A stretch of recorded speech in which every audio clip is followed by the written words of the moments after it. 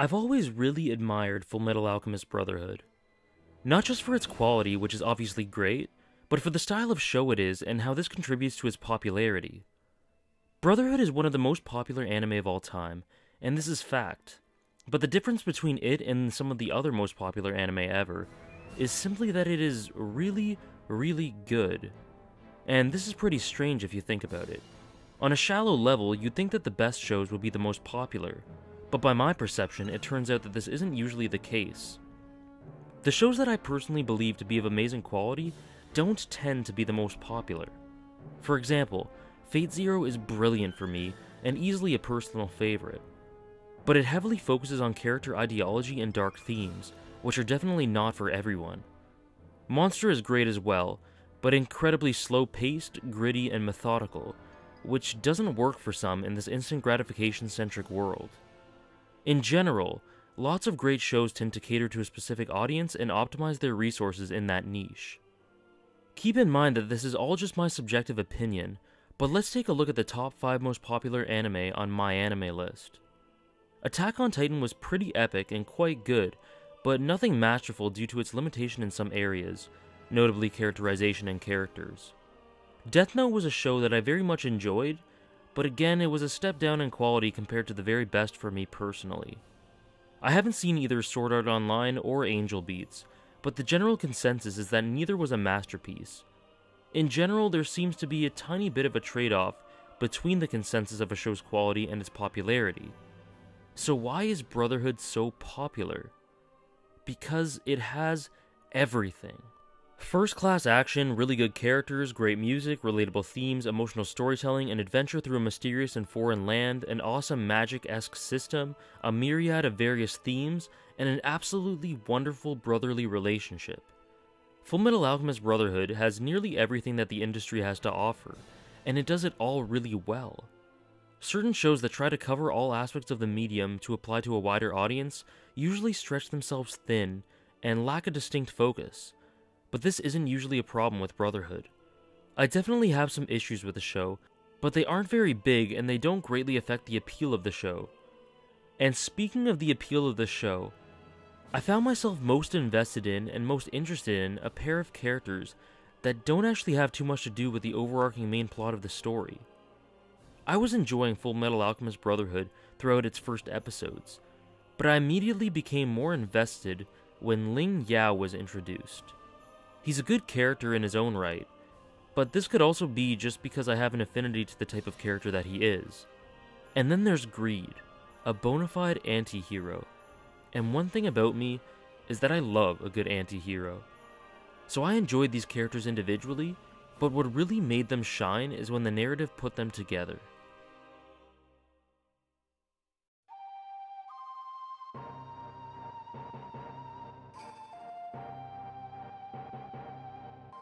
Ling hails from the eastern region of Xing.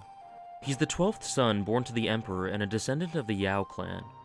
He's considered royalty and a candidate for ruling, but the throne succession process in Xing is more brutal and bloody than you would think, with assassination attempts being made on candidates on a regular basis. As such, he definitely hasn't led a sheltered childhood, and such a demanding life has made him intelligent, deceptive, and tactical, not to mention an absolutely amazing samurai. Ling's ultimate goal is to restore pride to his clan, and so he sets out on a mission with his retainers, Fu and Lanfan, to Amestris in order to find the coveted Philosopher's Stone and the secret of immortality, in the hopes that this will lead him on the path to kingship.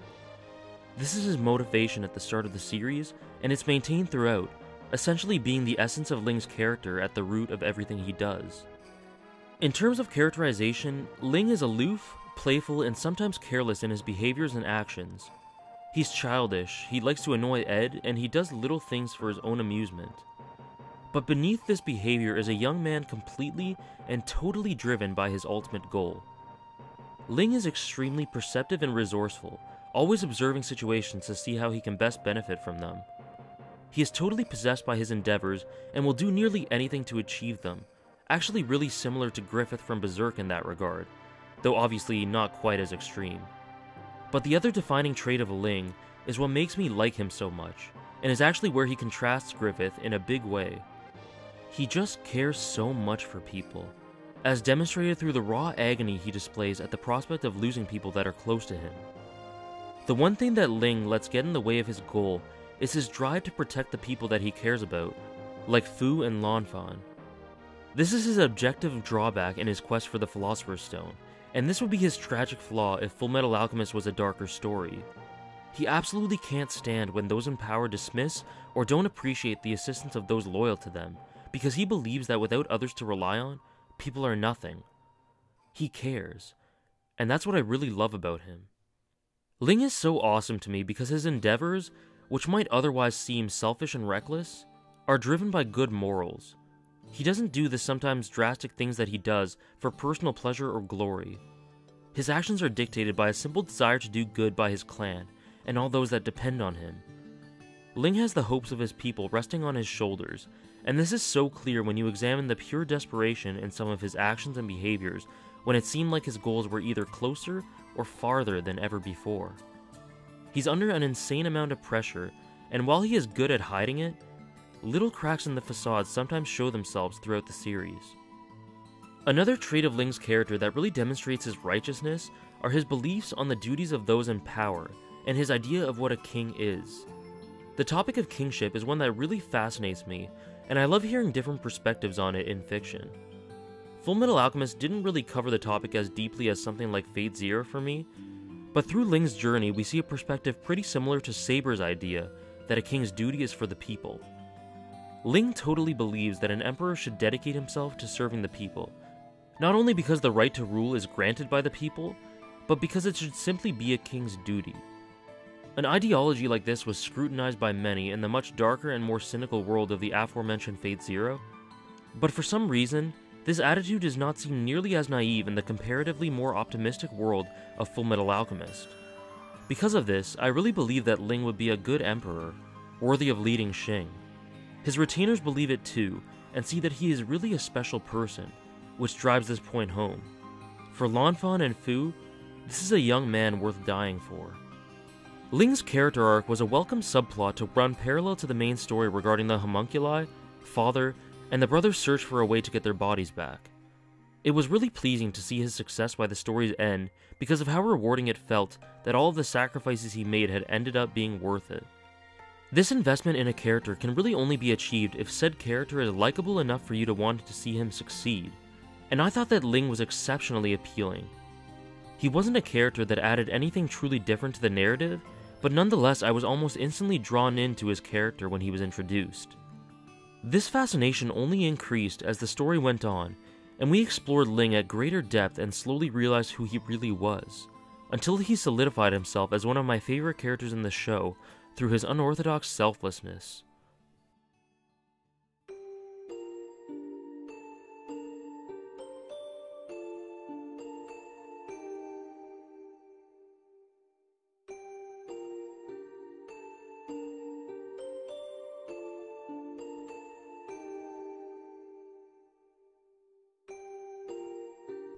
Greed is not actually a completely extraordinary concept for a character. The man who starts antagonistic and robotic but learns to care for others is a pretty common character type, but if done properly then it can be very effective, as seen in series like Hunter Hunter. Greed is the stripped away part of the dwarf in the Flask's personality that represents all of his, well, greed. As such, and as you'd expect, greed is completely full of avarice and desire. He has a confident demeanor and comes off as a little bit in love with himself. He starts his role in the series as quite a bit of an antagonist, but distinguishes himself from his fellow homunculi in three ways. Firstly, although he might state otherwise, Greed forms very meaningful connections with others.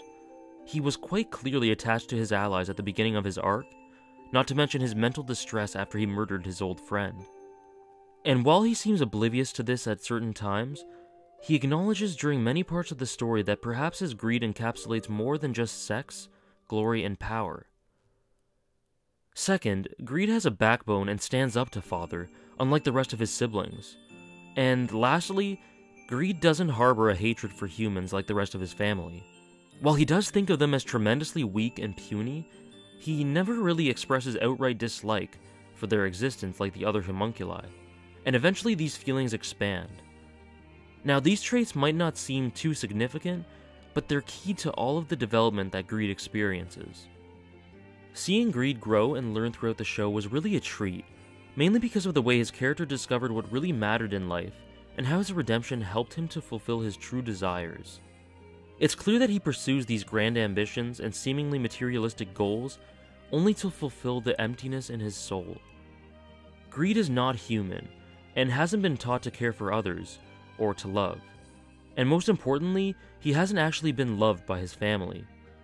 This is why he gravitates to a crew that care for him early on and to a group of allies that support each other later. He craves the affection of others. At the beginning of the series, he didn't know this and believed that the emptiness that he was feeling would be solved by avarice and primitive gratification. But this never really achieved what Greed was looking for. Through his journey with Ling and the relationships he develops with others, Greed slowly begins to open up and accept people into his life, perhaps beginning to realize that this is what he truly desires. As the series goes on, he gradually learns to respect humans for their character and perseverance. He begins to care for Ling and the others, and he soon realizes that all he wants is true friends to experience life with. This is communicated more bluntly than ever through his tragic sacrifice at the end. The greed from the beginning of the series would never have even thought of sacrificing himself to save these humans, but that's the beauty of his character development. He learned so much within a relatively short span of time about himself, and was finally able to find what he had been searching for his entire existence.